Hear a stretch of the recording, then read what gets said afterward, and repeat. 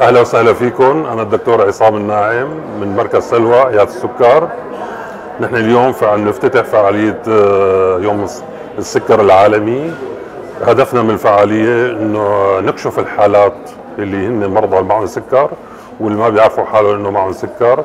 مرضى كذلك اللي معهم ضغط واللي ما بيعرفوا حالهم إنه معهم ضغط. مشان نعطيهم النصائح ونعدل نمط الحياة ونعطيهم العلاج بالوقت اللازم. الهدف هو منع تفاقم المرض ومنع العقابيل بالإضافة للتثقيف الصحي فيما يتعلق بمكافحة التدخين بالرياضة بالحركة بالدايت بالحمية. وسلامتكم. صيدلي نزيه محمد صيدلية مركز سلوى. إحنا بنأكد آه، على المريض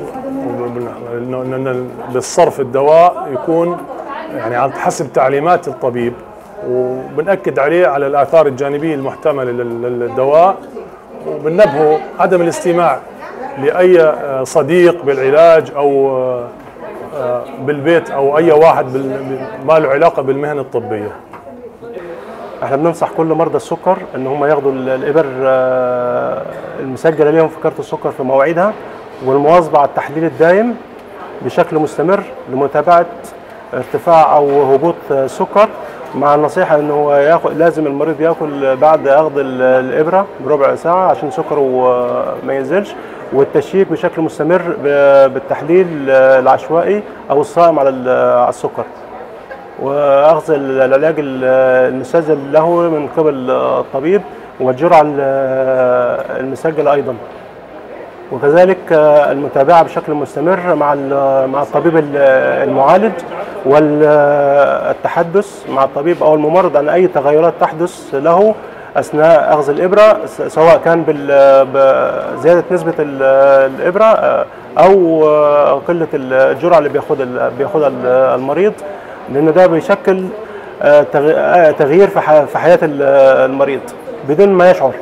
ودايما يكون معاه حلويات أو سكاكير في جيبه عشان لو حصل بأي تغيرات هبوط في هبوط السكر بعد الابره يلحق نفسه وياخد السكريات دايما يعني. النهارده هنبدا ندي تعليمات لمريض السكر ففي بعض التعليمات لمريض السكر يوميا لازم يغسل غسل القدم يوميا بالماء الفاتر والصابون. تاني حاجة التنشيف جيدا خاصة ما بين الأصابع. وضع المرطب أو الكريم أو الفازلين بالليل قص الأظافر بالطريقة الصحية السليمة لبس الجرابات القطن مساء.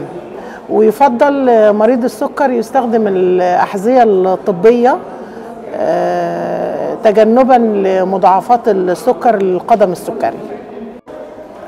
يوم السكر العالمي. ننصح فيه المرضى السكر ومرضى الضغط بعمل الحمية الغذائية واتباع إرشادات الطبيب المتابع والاعتماد على الأجهزة الدقيقة أو دقة الأجهزة التي تستخدم لفحص الضغط والسكر.